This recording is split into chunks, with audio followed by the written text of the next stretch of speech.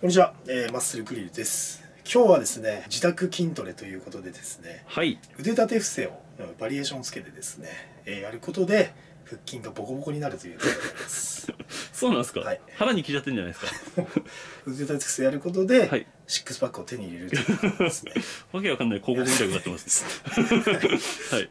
まずはね、えープッシュアップっていうのは何かって言ったら腕立て伏せのことなんですね。はい。こういうやつですね腕立て伏せはい、はい。これはですね、えー自宅でもでき、まあ、床があればできますから。そうですね、はい、なので、えー床がある人はねできますから。床がない人はちょっとできないですか？床がない人はできないです。ね だからまあ、はい。地があればできるって言えばいいです、はいはい違うのかね。はい、なので、えーちょっとそれを紹介していきたいなと簡単なんでね、はいやっていきたいと思います。お願いします。はい。はい。はい。えーまずはですね腕立て伏せって、えー言うのは簡単なんですけど割とね筋力を使うんでねマッスルグリル視聴者の方はですね女性の方も最近増えてきましたので。そうなんですよねありがたいことに。そうだからまず女性が腕立て伏せをおやるためにどのようにすればできるのかというところで女性編からやらせていただきます。はい。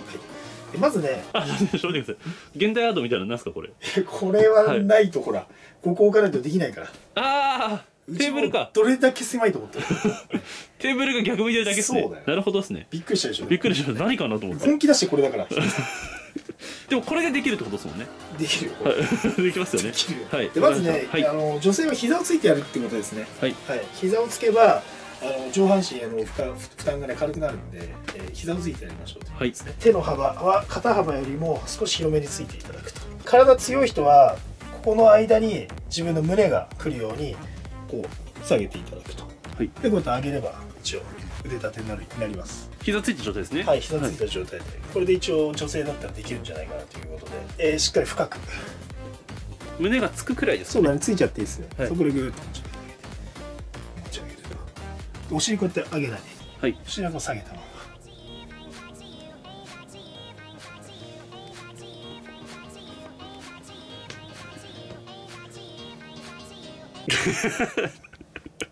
爬虫類ですか？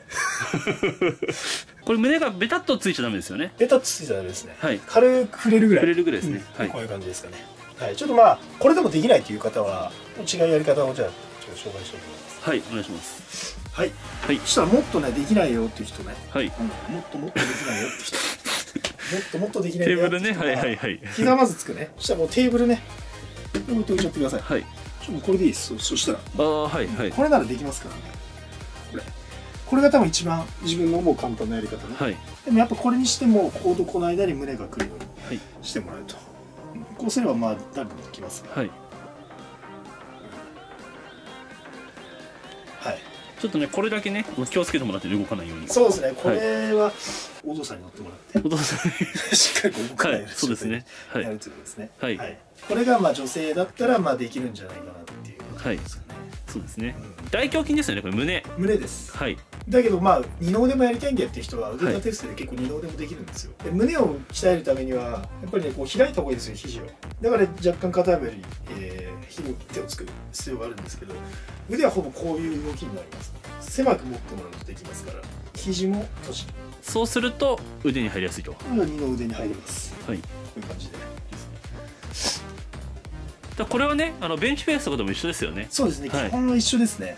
肩関節の関与が大きいと胸が効く。肘関節の関与が大きいと腕が入ると。腕っていえーこの2つでまあこことかこことかまあ肩周りも若干使うんでできると思います。はい。はい。わかりました。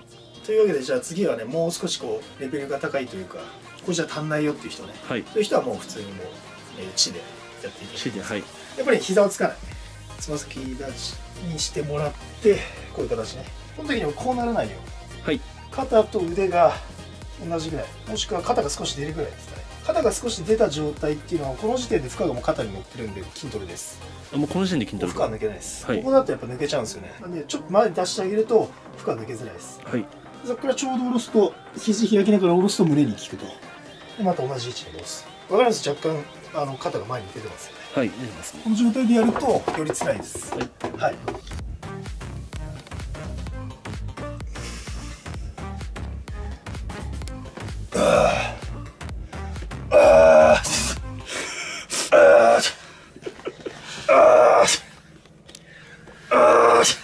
これがまあ一つベーシックな腕立て伏せにはいなります、はい。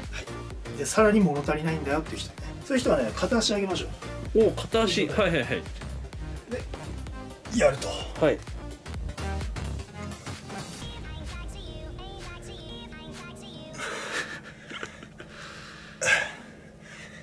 ブレることによって少しこっちにやっぱかかってくるんですね負荷が。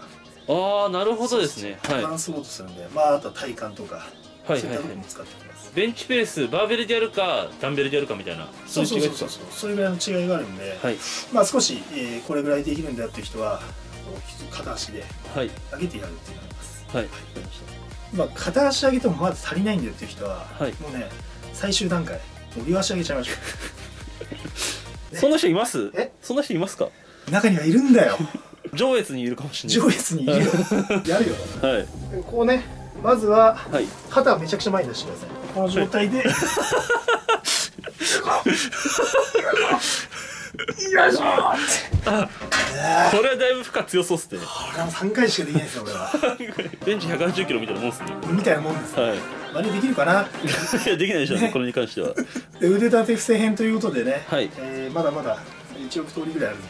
マジですか？そんなあるんですか？ありますあります。じゃあまだまだこれ室内でできますね。まだまだありますから、はい。大丈夫です。じゃあ今日はこんなところで。そうですね。はい。ありがとうございます